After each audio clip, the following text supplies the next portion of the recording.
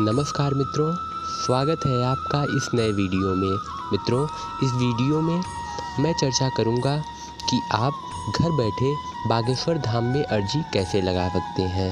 मित्रों, वीडियो की शुरुआत करने से पहले आप सभी से एक छोटा सा निवेदन है कि चैनल पर नए हो तो चैनल को प्लीज़ सब्सक्राइब कर दीजिएगा और वीडियो को लाइक कर दीजिएगा ताकि बागेश्वर धाम से जुड़ी सारी अपडेट आपको जल्द से जल्द मिलती रहे।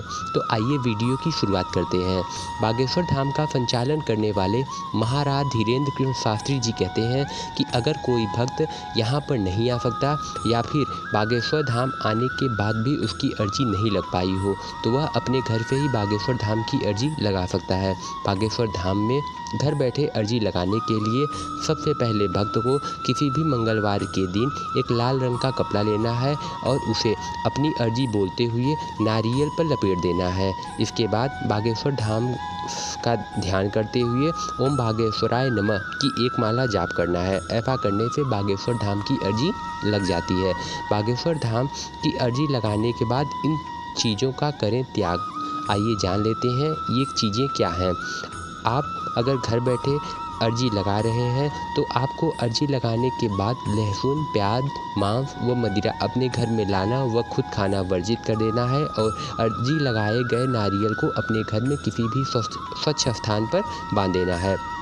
और सबसे अंतिम में एक बड़ा सवाल आता है जो हर भक्तों के मन में होता है कि आखिर इस बात का पता कैसे लगाएँ कि हमारी अर्जी स्वीकार हुई या फिर नहीं।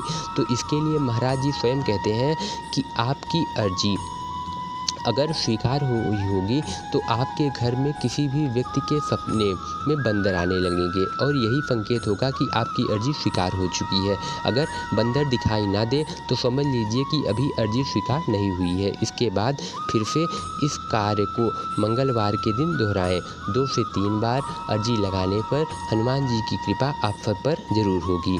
अगर आपकी अर्जी लग जाए तो आपको एक चीज़ का विशेष ध्यान रखना होगा। और वह यह है कि जो भी अर्जी बांधे, वो चार दिन तक ब्रह्मचर्य का पालन करें, चाहे वो गृहस्थ हो अथवा नहीं, और लगातार ओम बागेश्वराय नमः मंत्र का जाप करते रहें।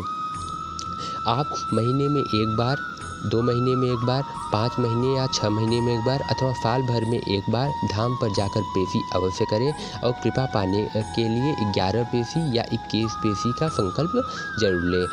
अगर आप बागेश्वर धाम के टोकन की जानकारी को जानना चाहते हैं तो आप बागेश्वर धाम के ऑफिशियल नंबर पर फ़ोन करके टोकन का वितरण और अर्जी की तारीख को पता कर सकते हैं। मित्रों, वीडियो में अगर जानकारी मिली हो तो चैनल को प्लीज़ सब्सक्राइब करिएगा और वीडियो को अधिक से अधिक लाइक करिए और कमेंट में जय श्री राम, जय बागेश्वर धाम ज़रूर लिखिएगा। Thank you.